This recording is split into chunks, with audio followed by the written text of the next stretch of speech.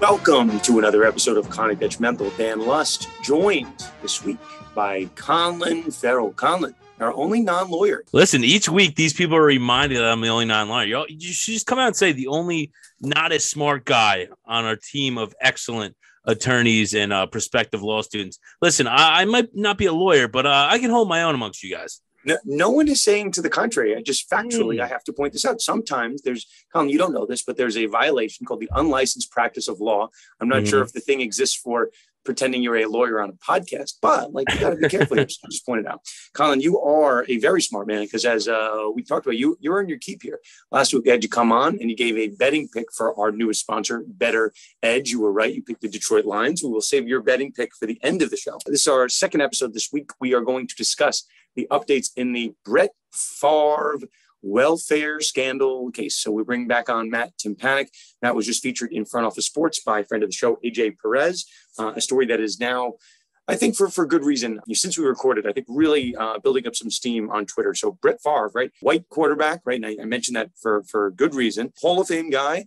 And I don't know, you know, a $70 million welfare fraud in which he's attached to it maybe is more important than right Ime Udoka, the Celtics coach, uh, you know, who he might have slept with. But you wouldn't know that from Twitter, at least for the first portion of the day. I think since the Brett Favre stuff has now taken over. But yeah, we're going to talk a little bit Brett Favre, a little bit of Ime Udoka, the Celtics coach, and, and brought in a very bizarre scandal. And uh, then we're going to talk some NIL updates. But Colin, we are here, you and I, right? We're here because we have our one lovely sponsor that's been with us since day one.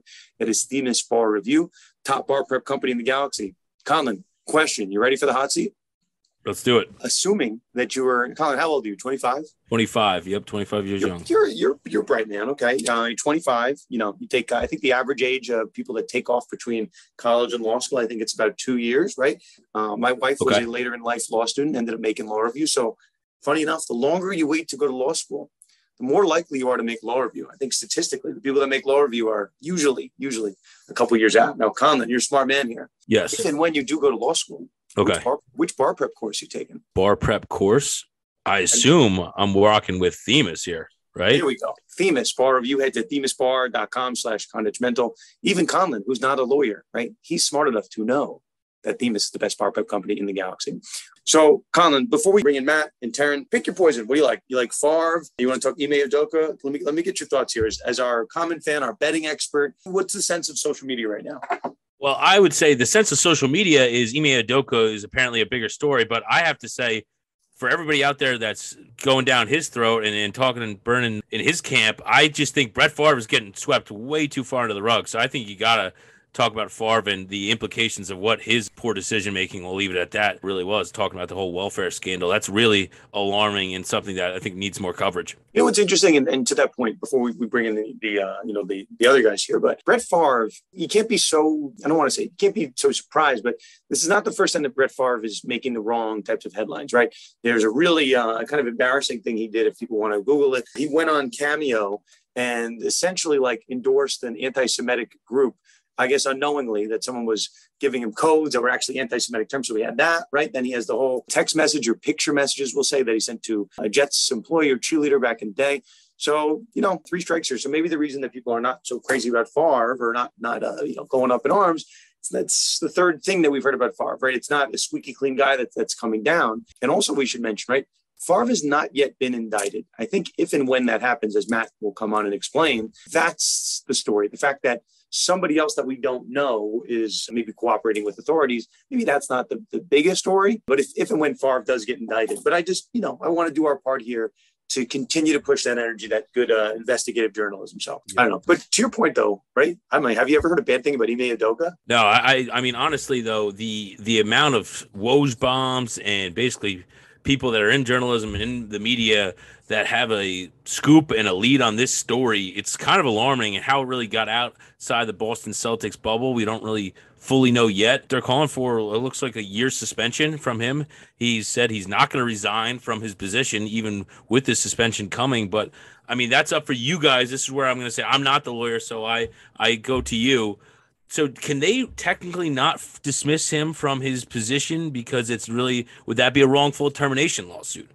Could does he have something there? The problem is we don't even really know what this is. Like the, the fact that there's a comment out there, and I saw Chris Haynes reported it. You know, he's the Ime Udoka is not going to resign. I'm like, what is yep. he resigning over? Is he resigning over an affair? That's the, again, I'm not not saying that that's wrong, but in, in our, you know, you're not saying it's right. I'm not saying you're right. I'm right. I'm not. I'm not saying it's it's the the right thing to do by by any means. But my spider sense, my legal sense, tells me that there is more to the story. Maybe this is someone I, I don't know. Just and again, if it's a superior and someone that's a subordinate at work, maybe the optics aren't right. But well, you did hear that there were two separate affairs going on. Is what I heard. Is that there were multiple women. So okay. I think there was one that was married to what they said was somebody in a vice president capacity. I don't know exactly the role, but looks like he had been around with a few different women. So maybe that's something to where they, I don't know, toxic workplace. Who knows? That's all for you, you legal folk to figure out. well, yeah, I mean, we'll, we'll say, right, innocent until proven guilty. These are all allegations. There was a report that it was definitely one employee, and then somebody came out and said it's definitely not that employee. She's married and she has kids. So, yeah, it's everybody speculating left and right. So I, I understand that's a story that is literally being solved while we are on in, in, Twitter in front of us. But I don't know if it's one woman, two women. I mean, yeah, if it's if it gets to Deshaun Watson levels, surely that sends a very, very different message. But yeah, I mean, I just I find the whole thing to be odd. And then not to mention, right? It's assuming Ime Udoka is suspended for a full year, right? Let's uh, address the elephant in the room, right? Deshaun Watson was not given a one year suspension for no. allegations of 20 different women, sexual assault, non consensual, right? Ime Udoka, as far as we've been told, uh, you, you know, one woman, two women. I'm not hearing anything that's non-consensual. So for what it's worth, just saying it's bad optics from the NFL from the get-go. I brought up the. I know there's completely different things. The whole Calvin Ridley year-long suspension that kind of has been, you know, I mean, not talked about as much recently, but still, whenever we want to talk about gambling, Calvin Ridley is something we we got to talk about too. But he's been a year. Sean Watson got 11 games. It's at the end of the day kind of alarming. We'll have to see what happens with this. Udoka yeah, we'll, we'll, follow all of these. But Colin, uh, pleasure having you on. First up on our docket again, we have Brett Favre. Ime Udoka, before we head over to NIL, Matt Tympanick, our resident district attorney, was blowing me up with this case. He goes, There is something big about to happen to Brett Favre. Let us get in front of the story. So, obviously, we are the sports law podcast, and ESPN and those guys don't want to cover the Favre cases closely as they maybe should. We're happy to do it. So, without further ado, let us kick it over to Matt Tympanick. Matt, welcome back to Conduct Detrimental. How are you? Excellent. Thank you for having me on. So, you know, you and I have been talking about this. I know you've been in the weeds. I've been watching your tweets. Brett Favre, we have a further update in the saga. We were tracing this, maybe having some emergency breaking news. What is the latest, Matt? What are you seeing? And is anything, we'll say, imminent? So today, it is first reported by AJ Perez of Front Office Sports that another co conspirator in the Mississippi massive welfare scandal has agreed to plead guilty. Former welfare director John Davis has agreed to plead guilty to state and federal charges. Uh, according to a report from Perez, it appears as though the agreement would have him serve about 10 years in prison for these offenses. He was obviously looking at up to significant more time in prison. Additionally, in these types of situations in federal cases, usually a deal has a stipulation that the individual will agree to cooperate with the investigation. I believe that it's already been reported that I think it's Steve Diassi is another potential co-conspirator in the case. That might be an indictment that might be sealed in the coming weeks or months. But the big thing is it is another potential witness in a potential Brett Favre trial, criminal trial. As we've heard throughout this whole process, and as we know, Brett Favre was paid an exorbitant sum of money to give speeches he wasn't actually doing. Additionally, he was allegedly in a kind of conspiracy, if it were, with the former governor of Mississippi, Phil Bryant, as well as Nancy New, Zachary New, John Davis, to take money, misappropriate money that was meant for federal welfare funds. Remember, Mississippi is the poorest state in the union with the highest poverty rate. And he was allegedly helping facilitate that money to go towards the building of a new volleyball court for his daughter's alma mater. Matt, that was a fantastic breakdown. And I, I think we should kind of like back up a little bit, right? So it's United States versus John Davis. And AJ Perez has this up on his feed right now. You can read really um, where where this uh, fraud, these allegations, you know, appear to start. Um, and for those that, that didn't follow after our breakdown last week, we're usually at the cutting edge of all things sports law. ESPN took about a week, and then they put out uh, ESPN Daily, which is maybe a little bit more digestible to our non-legal listeners. But essentially, John Davis, right? He is the uh, individual alleged to have initially facilitated this fraud, right? And he was kind of, uh, for lack of a better term, in bed with uh, Nancy New and Brett Favre. And when John Davis was kicked out of office, is when this thing started to unravel. So John Davis is someone that we'll say, for lack of a better term, seemingly right knows where the bodies are buried. And then on our last podcast, which people should check out, we did a 30 minute roundtable with Matt, with yourself, and Tarun and, and Jason, really breaking down the ins and outs of uh, this analysis. Matt, where I wanted to take this next conversation, and uh, you know, you'll kind of see where I'm going with this. I, I don't know if it's controversial. I think you and I are on the same page here. I don't feel as if, as of today, the Brett Favre scandal, whatever we're going to call it, is being covered to the same extent uh, of other s- scandalous stories. Obviously, financial fraud is going to be a little different than something like a sexual assault scandal like Deshaun Watson or something like that. But I don't know. I think a $70 million fraud, of which Brett Favre is attached to about 5 million of it, is still a very big story. And, and still, we don't really, uh, I guess we don't know where the seeds are. There's still more reporting to be done on that story. So, yeah, I, I feel a little uneasy with the lack of attention being paid to this. I get it that Favre has been retired for some amount of time, but Favre is one of the greatest quarterbacks of, of all time. You'd, you'd think that there would be bells and whistles and, you know, the internet's going, you know, digging in trenches to try to figure out where this money went. But I'm, I'm not seeing the same type of vigor. Yeah, definitely. When you think of uh, what just broke today with Ime Udoka, the Boston Celtics head coach, being involved in a consensual, intimate relationship with a female staffer, that has pretty much taken over ESPN, Woj, Shams. Everybody has been talking about it nonstop about this case. But it definitely felt like to me that I'm kind of going and searching and looking for the Brett Favre story. And outside of the Mississippi newspaper that's been kind of quarterbacking this whole thing, you really can. Obviously, AJ Perez is reporting. You're not really seeing it anywhere. Uh, Pro Football Talk has pretty uh, covered it pretty extensively, but you go on ESPN, it's like it doesn't exist. And this is a humongous potential scandal. This is money that was meant to help people who found its way to a guy who made allegedly $140 million in his career, and nobody's talking about it. I talked to AJ Perez about this, and we both agreed.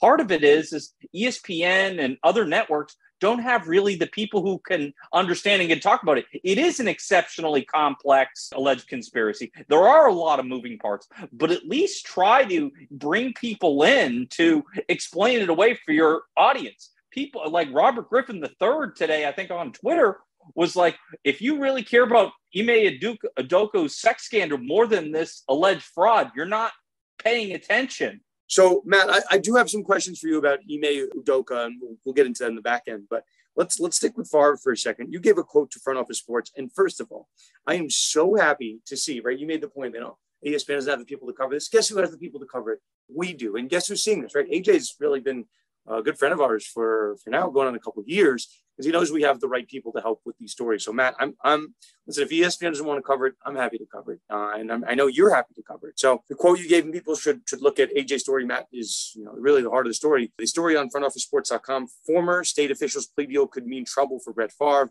The quote, the money quote for Matt.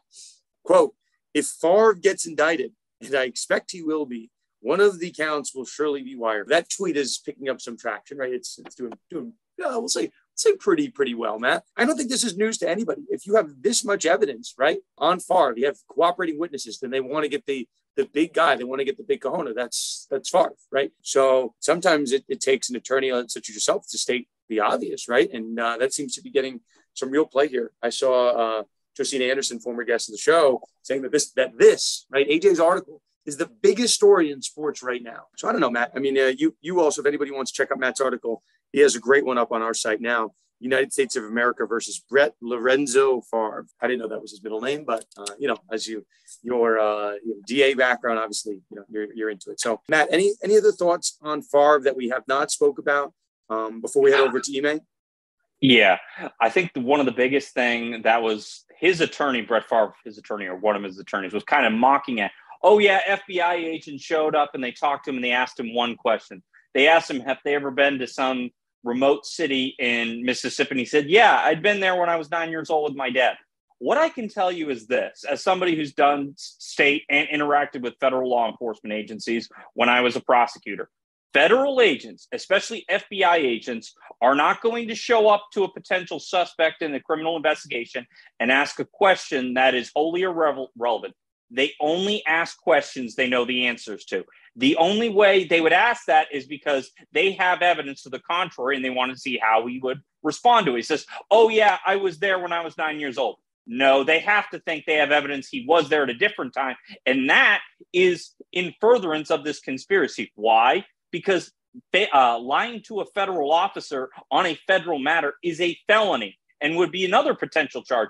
That's why you have two federal agents go and speak to a, potential witness because they both can be witnesses to the exact same offense. Matt, I'm not surprised at all that your analysis is getting featured now uh, everywhere across the Twitter sphere. But you know, we'll put the Fargo into bed. Obviously, you know, you'll be back on with us if and when there is an update on that front. The other part I wanted to get your your thoughts on for you know, we'll, we'll, we'll see how long we need here, but Ime Udoka is, is now this we both kind of alluded to it, like this internet sleuthing level. I've, it's at all time highs with this Udoka story. People are trying to figure out, right? And we'll take a couple steps back for people that are not familiar with the story.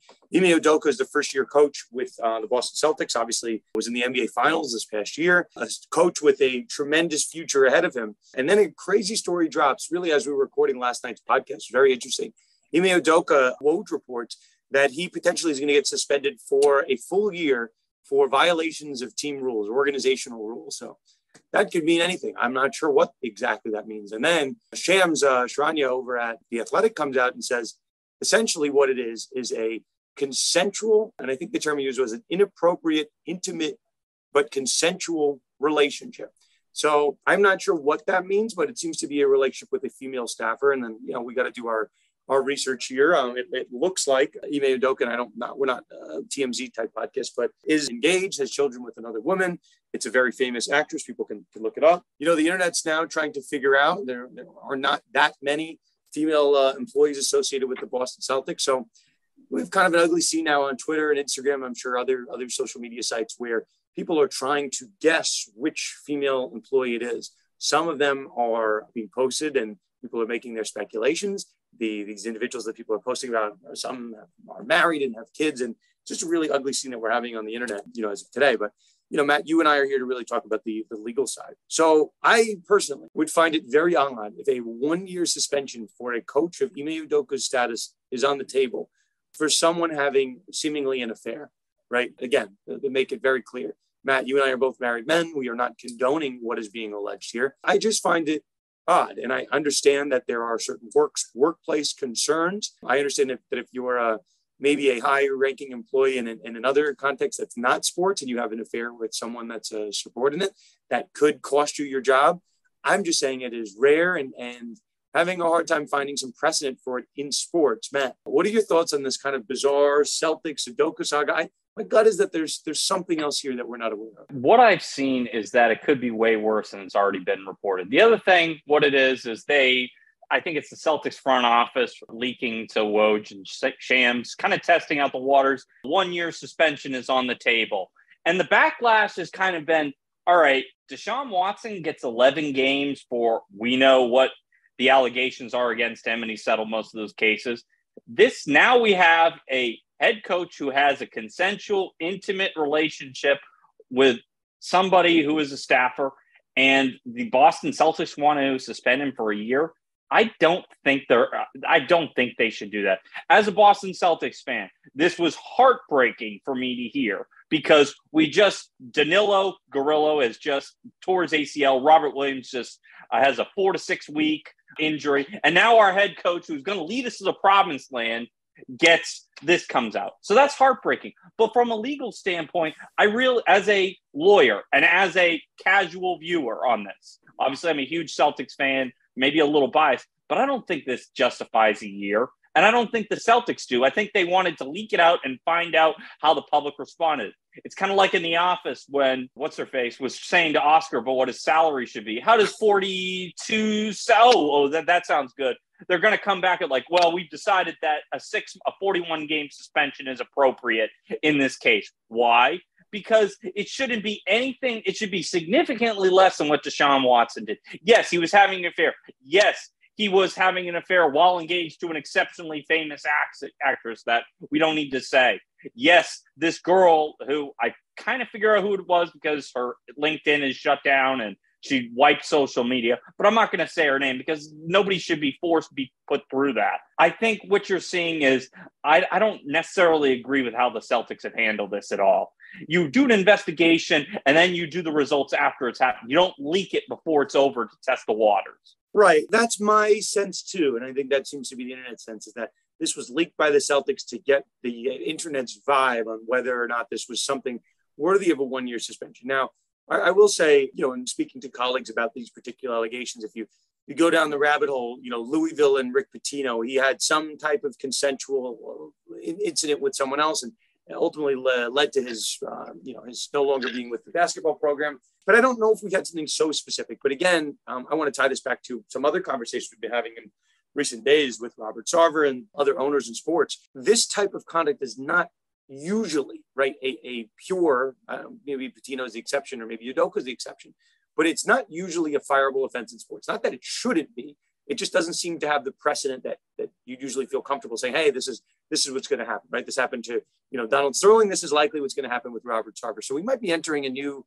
new territory, right? In the in the age of 2022, people are trying to be more, I don't know, safe PC and and really trying to turn uh, clean clean up sports, right? For lack of a better term. So again, these are all all allegations at this point in time. But when you have guys like Woj and Shams dedicating resources to these type of stories, I think they sense what we do that this is just not a normal story. So again, my gut here is that something else happened. It's not just purely a fair. It's not just the optics of someone, you know, maybe stepping out outside of their standard relationship. My gut is that there's something else here. And if there's not, then we are seeing a new bar set for a coach being suspended or potentially further discipline for something that occurs and really doesn't have anything to do with work. So, you know, the Deshaun Watson thing kind of opened up some some doors that we hadn't seen before. And, and obviously, Ime Udoka in a very different sense. I think the allegation right now it's purely consensual, but yeah, just a new era. Matt, anything to add before we, we close the book on this one? What you're seeing with this case, I understand it's sweeps month. I understand ratings mean everything, and this is a sex scandal, and people can understand this, and it sells, and people keep tuned in. But please, can we keep our eye on the ball? If we're networks that get hundred, uh, we get millions of viewers every night this issue, what's going on in Mississippi, they don't have running water in Jackson, Mississippi. They're the poorest state in the union. And there are allegations that a NFL Hall of Famer misappropriated funds meant for those very people. More should be done by those networks who have a huge outreach so that the news is given to the everybody and it finds a way so people can make a determination as to what actually happened in this case instead of all right, another sex scandal where this individual had a consensual, intimate relationship with a staffer. And I should he be suspended? Yes. Should he be suspended for a year? Absolutely not. We will see, Matt. Matt, listen, always a pleasure. You break it down like few can in this uh, little niche world that we've created over here. But always a pleasure, and uh, I'm sure we're going to have you back on very soon. Thank you, Dan. So that was Matt Tympanick. Again, he is on social media at Tympanick Law. Matt, uh, as I've said on the past, he has this really fun jingle with his law firm. It's like, don't panic, call Matt Tympanick. It's actually not the jingle, but it's it's pretty close. It should be the jingle. We, Colin, you and I should do the jingle. His jingle is better than that. So, have you heard the jingle? I have heard the jingle because we had Matt on my show. You know, I mean, a few months back. So I did. I was doing a little background research on him. So it's better than that. So you want to check out Matt's jingle? Uh, go to what Tympanick Law right on Twitter. So go to Tympanick Law on Twitter. You'll see his website. But again, Matt's been with us a while. Our resident district attorney, former prosecutor. Now he's on the defense side. So good resource for both ends. But um, as to the substance of what Matt said, you know, I think we, we're all kind of in this weird phase of 2022 where everything is under a microscope. And maybe that's social media because maybe we all have our own detective hats on, right? I was up very late last night. We got the Ime Udoka news probably around like midnight. And I was in, uh, there was an account that seemingly predicted this like a couple hours before the news was released by Woj and, and, uh, and Shams. And then there was a report that this account might be a Boston Celtics burner account, someone associated with the organization. So yeah, maybe that's it. Maybe the fact that honestly, you know, that we don't really know exactly what's going on with Udoka is why the story, the story has more legs. And with Favre, we kind of know what's going to happen, right? As Matt predicted, the inevitable is that he'll get indicted. Why hasn't there more been an active outreach in calling out for that to happen? I agree. That should be the likely outcome. I think people are calling for it to happen, but it's the state, like, who is the, like, the, the parties involved in the Mississippi case? It's like, Mississippi. So maybe if you're in the state of Mississippi, yes, you're calling for Favre to be indicted. You know, but when it comes to Ime Udoka, right, it's more of a sports specific issue, and maybe that's why you're in my circles, the Udoka circles, you know, uh, the Celtic circles. Those people are up in arms. Maybe I'm just seeing it more on my timeline, but the, I think another uh, point you can make in regards to the Udoka story and be more popular, especially in the Twitter space and stuff like that, is sex sells. So again, it's an affair. It's in this eyes of a, or excuse me, it's involving someone in a major capacity. The Boston Celtics head coach. It's not somebody in the MLS or somebody like that. It's a guy who brought a team to the NBA Finals. Right. And I mean, not even four or five months ago. So it's a very prominent figure in a world where a sport that you know we care about, and obviously something an affair. Ooh, you just saw the whole Adam Levine drama. Now I be that stuff's blowing up right there too in front of his face. So it's like the past couple days. I mean, people on Twitter they haven't been people that are Twitter bots and whatever, they've been loving this this past couple days. You know, I guess on that, the the other reason, I mean, you and I were, were talking offline. The Celtics haven't addressed this, at least as, as the time that it's recording. The Celtics have not said anything. So it's an odd look, right?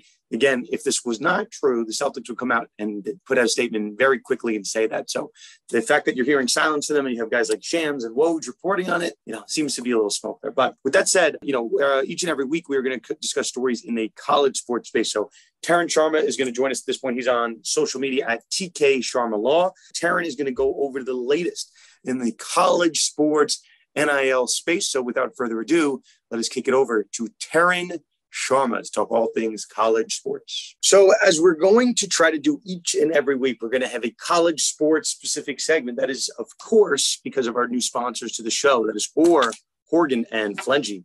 Uh, again, friends of ours from Nebraska. They are representing athletes, not just in Nebraska, but they're trying to help athletes in, in each and every state to the extent that comes up. So, to the extent you have uh, an issue about uh, athlete representation or agent representation, our friends Connor Orr and Tom Horgan uh, over at the firm OHF Law, you can find them on social media. Uh, they should be a fantastic resource. And if you're trying to get in touch with them, just reach out to us and we will make that connect. Anything and everything NIL. So, Tarun, now, we have you here. We're going to talk about the latest story that I think is probably relevant to all of our listeners. So, about a year ago, uh, give or take, maybe a little bit more than a year ago, we had somewhat of a controversy that we discussed at length, which was the Barstool athlete saga. We said, hey, Barstool's kind of a gambling company. They kind of endorse cannabis. They kind of endorse psychedelic drugs and maybe a little bit of alcohol, right? I know PFT is on microdosing. Like they, they talk about stuff that athletes are not normally allowed to be associated with. So we warned, right? Try, uh, we, you know, uh, I think you and I are, are supportive of Barstool as much as really anybody. I listen to Pardon My Take a lot, but you know, we're always about protecting athletes. So associating with companies that that do that type of work, we said, hey, there's a world where that might not be allowed. And would you know, Fast forward, there were certain schools that said we do not want our athletes to be Barstool athletes. But Tarun, that was a year ago, right? And that was kind of a messy start to the Barstool NIL era. So I will let you fill our listeners in on Barstool's newest foray into the NIL space. I think credit to them and credit to Portnoy that they are pretty forward thinking when it comes to issues like this, trying to get involved in different spaces. And so they've launched this new platform. It's called Two-Yay. It was supposed to be two way, but Portnoy said that they couldn't get access to that domain. So it's Two-Yay, T W O Y A Y. And essentially, what they've done is creating a, a platform for college athletes, especially their barstool athletes that have already signed up, and businesses, uh, brands, advertisers, sponsors. And uh, so I I watched the video yesterday and um, decided to take a, a look around just because you know we're trying to stay up to date on all of this stuff, not just because of our own interests, but as our listeners may know, I launched the NIL clinic at the University of Minnesota Law School. I've been teaching that for a few weeks. So just making sure that we are aware of whatever student athletes are being made aware of. So I went on there, I created an account. It's pretty user friendly uh, platform. And I think their big thing, at least uh, this is what Portnoy is saying, is that they're not going to charge any money to the student athletes themselves. I think any fees they're saying would be paid by the sponsors. One other cool thing is that they partnered with Stripe, which is a, uh, a payment processing company that will help the student athletes get paid. So it's just an interesting thing, a new thing, and and more big players continuing to get into the space. So you know, Tarun, I, I remember seeing this is a story that came out a couple days ago that college athletes reportedly received less than a 4% cut of their jersey sales compared to the two thirds uh, percent cut that NFL players get. So there was kind of this movement in the last, uh, pretty recent, you know, like, hey, they, we're not really doing this right. If athletes are getting that uh, small of a percentage, at least as compared to their NFL counterparts.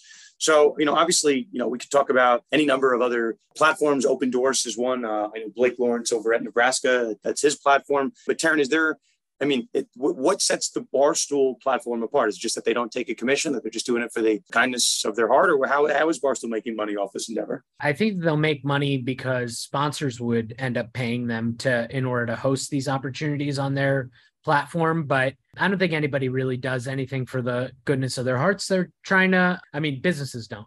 So uh, Barstool's trying to grow their their brand and and make you know student athletes at these different schools they're cool they're influencers they're talked about those are the types of people that barstool is choosing to associate themselves with and they're hoping that people who may have wanted to be barstool athletes would now sign up for their platform so that they would have the biggest and best athletes on their platform and and talking about barstool so i think that's where they're getting their benefit from creating this. I, I, don't think it's purely benevolent. Yeah, I think Barstool has been the sleeping giant here. I think being a Barstool athlete, I don't know, everybody that, that I think was a Barstool athlete already knows about Barstool. So I'm not sure how much, you know, more market permeation they need, but I do think there is some cachet to Barstool having this type of marketplace. Barstool has been you know, uh, I hate Dave Portnoy. I love him. He's everywhere, right? Barstool is blowing up on uh, you name a social media feed. They they have st- sort of conquered it,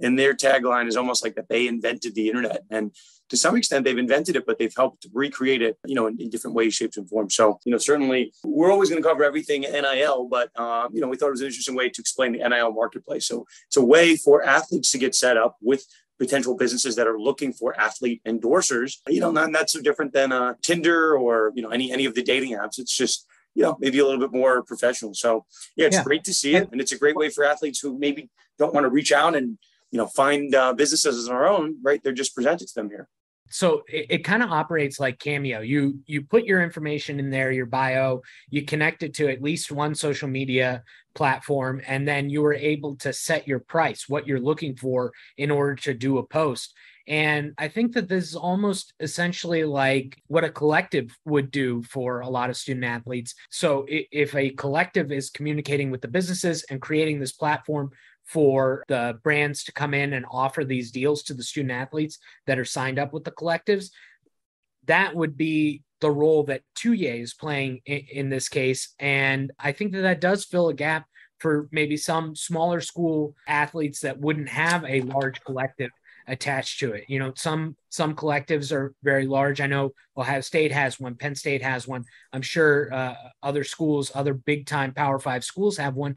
But there are smaller school student athletes that are capable of capitalizing on their name, image, and likeness rights. And so I think that's what this platform is kind of filling that space.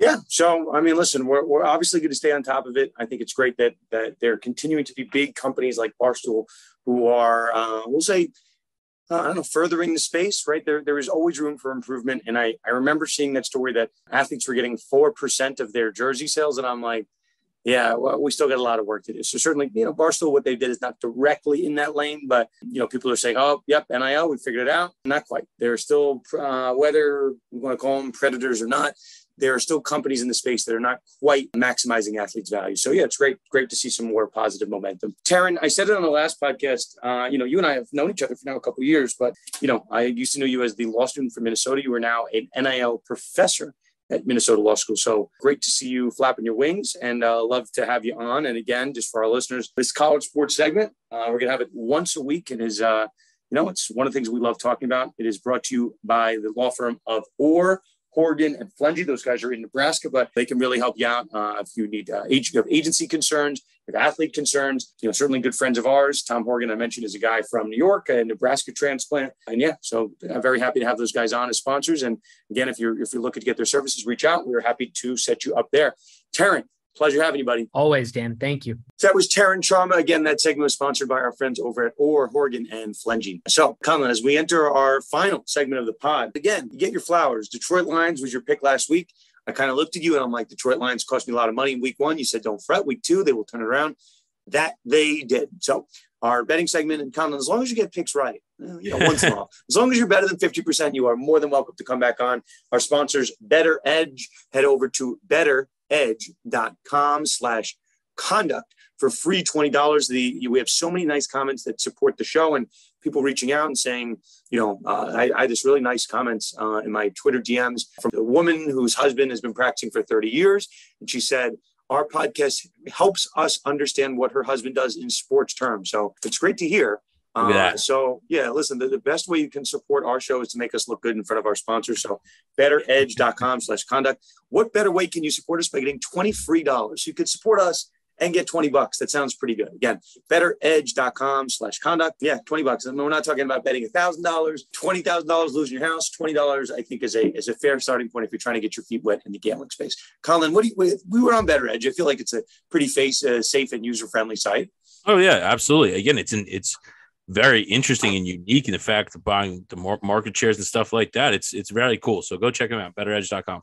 Yeah, uh, it looks very similar to our sports, uh, you know, sports in general. There's spreads, over unders. You guys can can sense it, but again, you are finding it's almost like a, you know, Angie's list, right? You're finding betters to bet against, and they are giving you the odds. So again, what better way to give them a better edge and have them sign up with our promo code Conlan with a winning pick, so maybe they can double that twenty. So okay, I, I let you span. You could do college sports. You could do you could do Major League Baseball. You could do football. Conlan, where, where are you taking your bet this week? All right, Dan, let's take us back to what got us here. It's the NFL. All right. Uh, 1 0 last week, the Motor City prevailing, the D- Dan Campbell Detroit Lions. But now we go to my home state in the Meadowlands. Actually, no MetLife Stadium net right now. Still bad, but that's where Cooper Rush and the Dallas Cowboys are coming as plus three underdogs against Daniel Jones, the 2 0 New York Giants, the surprising 2 0 New York Giants. And that's what they are. They're frauds. So take the Dallas Cowboys plus three. You get that at plus 102 on Bettor Edge. What better way? Listen, Cooper Rush just beat the defending AFC championship Bengals, who they were when they were seven point underdogs. Cooper Rush has started two games in his NFL career. He is 2 0. He's like me.